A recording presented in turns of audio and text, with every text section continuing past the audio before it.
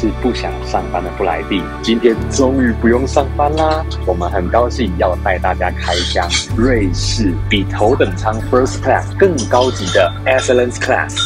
Excellence Class 特等车厢是专属于瑞士冰河特快 Glacier Express 的服务舱等。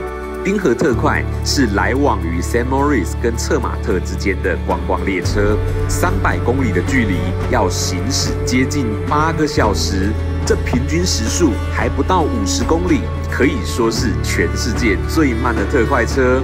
除了二等车厢、头等车厢，冰河特快在二零一九年特别增设了只有二十个座位的特等车厢，每个人都可以享受壮丽的景观，当然是基本的啦。在列车上还会有大厨现场烹调，从开胃菜到甜点，一共五道美食配美酒，主打都是选用瑞士本地的食材。让特等车厢的旅客都能对瑞士的风土有全方位的感受。冰河特快每天早上各有一个班次，从 s a n m o r i s 跟策马特同时发车，旺季的时候还会有加班车哦。但是只有一班提供特等车厢的服务，特等车厢会在发车前的二十分钟开放 check in，欢迎我们的是红地毯专属柜台。当然还有必不可少的 Rohon Perrier 香槟啦，大行李当然也不需要我们烦恼。由于只有二十个座位，Excellence Class 只在车厢的两边各有一个位置，目的是提供旅客舒适宽敞的空间。一上车马上就有专人来介绍座椅的功能与今天的服务。因为瑞士是山岳之国，列车的设计当然融合了阿尔卑斯山脉的元素。专属于特等车厢旅客的 Glacier Bar，最著名的就是在车顶上会旋转的罗盘。仔细一看，这四周还画上了瑞士著名山峰的方位。无论列车正在往哪个方向行驶，你都可以轻易地找到它的位置。冰河特快从 Saint Moritz 出发之后，马上就会行驶在蜿蜒的峡谷，穿越无数的隧道。经过 Felisur 车站，就是这趟行程的第一个看点——最美丽的火车高架桥——联合国世界遗产 l a n w a s s e r。因为只有短短几秒钟而已，布莱蒂建议想要拍照的朋友先移动到最后一节车厢，才能够拍出冰河特快行经大桥、穿越山洞的效果哦。列车抵达 Chur 之后，会更换行驶的方向，沿着莱茵河峡谷开往 Andermatt。这途中会经过许多美丽的乡村，这也是冰河特快行程中我最喜欢的一段。